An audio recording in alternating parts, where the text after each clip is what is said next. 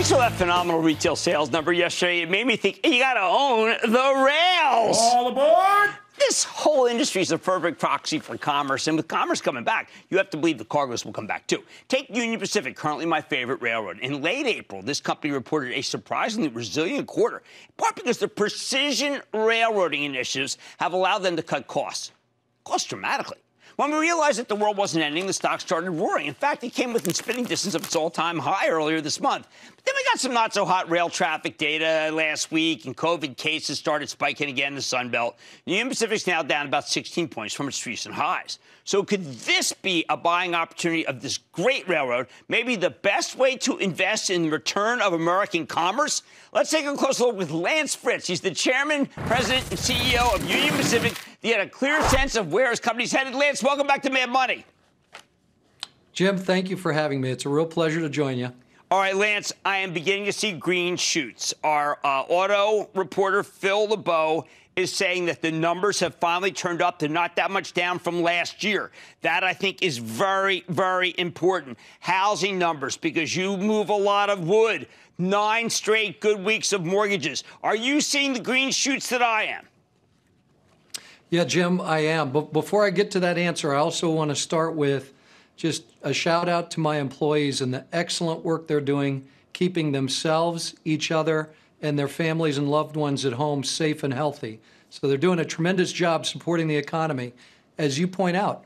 And I am seeing those green shoots. We're seeing it in the automotive industry, housing. We're also seeing it in grain through the U.S. or the uh, U.S.-China Phase One deal. And I'm seeing it uh, a little bit in construction of things like road projects and rock. So, so across our markets, we're seeing a, a few signs of optimism. Now, is it possible, Lance, because you've become such a great operator, that even with a little bit of more business, that it could fall to the bottom line and make it so the comparisons won't be as tough? Yeah, Jim, there's no doubt that with our current operating ratio, and in the first quarter, we had the best margins in the industry. There's no doubt that incremental volume creates wonderful incremental margin. The other thing that operating ratio does for us is it, it fundamentally shifts the, the playing field. We, we can now compete for business that looks attractive to us at pricing that two years ago didn't look attractive. It's really opened up markets for us. Well, it, can it open up markets for things like e-commerce, or is the stuff that e-commerce ships too small for you? Oh, shoot, uh, our parcel business is up strong double digits right now. We are we are seeing the e-commerce demand flow through to our, our rail business. I did not know. It's fantastic. At the same time, we know that energy went down to minus 37. It's come back a little. You do have some energy exposure. Uh, you also have some coal exposure. How are those two cargoes? Yeah, so coal is in long-term secular decline, right. and, and we continue to see that. Uh, if you compare it to the kind of coal volumes we shipped 15 years ago, we're down easily about two-thirds. Uh, it looks like it's going to be steady. It's going to grow or shrink with weather and with competing fuels and the impact on things like uh, natural gas pricing. But in the long, long run, I, think that that's a piece of business that probably is in long-term secular decline. We do see in the energy world things like wind turbines, uh, equipment being shipped. Uh, we see some LNG going in and out of storage, mm-hmm. LPG. Uh, we also see petroleum and petroleum products, refined products uh, that we ship. A lot of that's uh, being shipped into Mexico right now. Well, let's talk about this plastics business because you are you are smack in the middle of it. The last time you were here, we talked about how good it, they're building so many plants. Now it's starting to come to fruition. Is America going to be the capital of this business in the way that China used to be?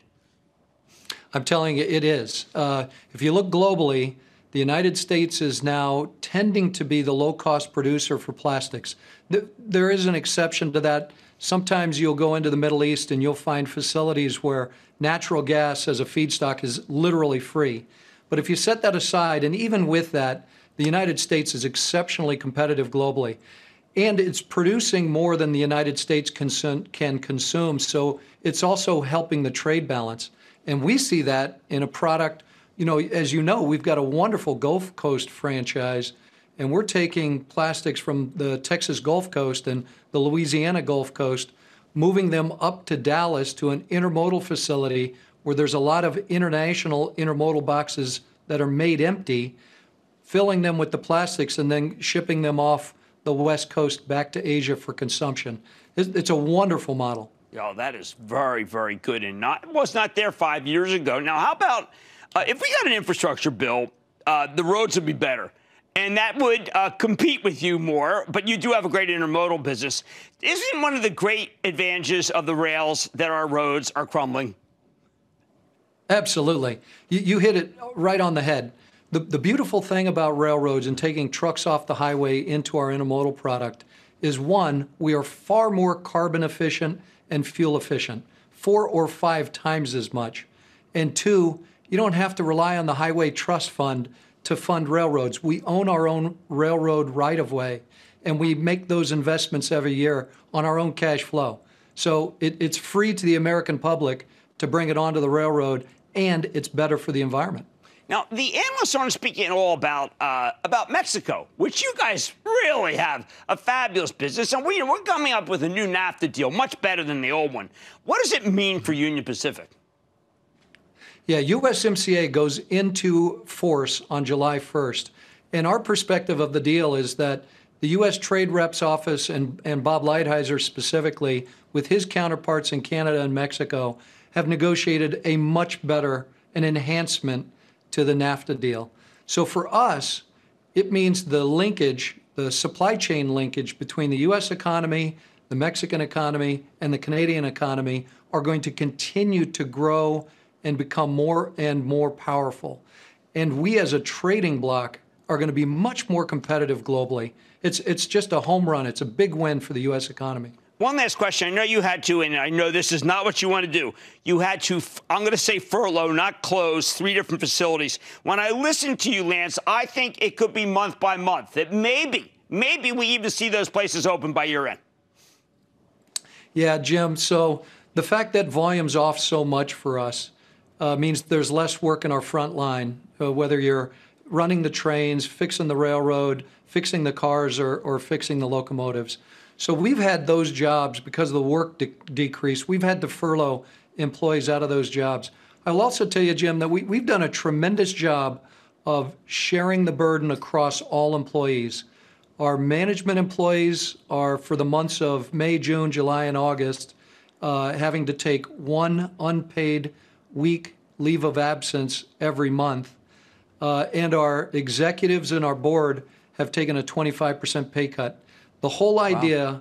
was to make sure we maintain the flexibility to have the workforce we need when the when the economy comes back, but be prudent and react to being down 25% on volume. Well, Lance, thank you so much. It's great to hear some optimism, which is justified by facts, not by fiction. It's always great to have you on the show. Thank you so much, sir.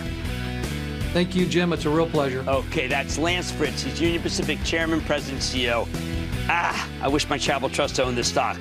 Well, there's always a chance. Stick with Cramer.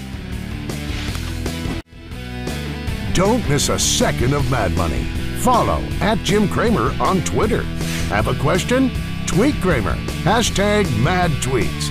Send Jim an email to madmoney at cnbc.com or give us a call at 1 800 743 CNBC. Miss something? Head to madmoney.cnbc.com.